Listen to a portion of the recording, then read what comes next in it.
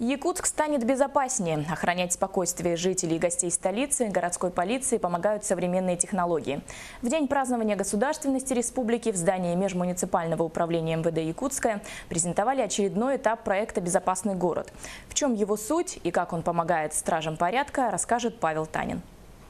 Первый этап проекта запустили в июле 2008 года. Тогда он включал в себя несколько кнопок экстренного вызова полиции, расположенные в разных частях Якутска, и несколько камер видеонаблюдения. Десятый этап заключается в установке камер в Губинском округе столицы республики. Благодаря появлению вот этой системы в Гагаринском округе, конечно, там э, правонарушения пойдут на спад.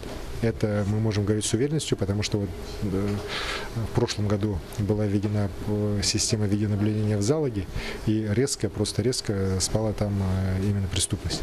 Всего за 8 лет в городе установили 8 кнопок и 117 камер. Они охватывают главные площади города, криминогенные районы Якутска и места массового скопления людей, пляж, аэропорт и другие.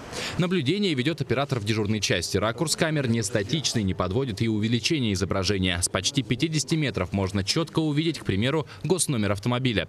Кроме того, благодаря комплексу городская полиция может эффективнее распоряжаться личным составом. Можем маневрировать оперировать нарядами, да, с учетом э, изменения оперативной установки, с учетом тех мест, где у нас установлены сегменты безопасного города, мы можем э, перенаправлять те или иные патрули на, э, в те участки, где у нас, к сожалению, на сегодняшний день нет этого сегмента, вот, и где по-прежнему остается сложная оперативная установка. Отметилась презентация и еще одним событием. Участковому Сергею Винокурову глава города вручил ключи от новой служебной машины. К слову, в этом году Сергей будет представлять Якутск на всероссийском конкурсе «Народный участковый».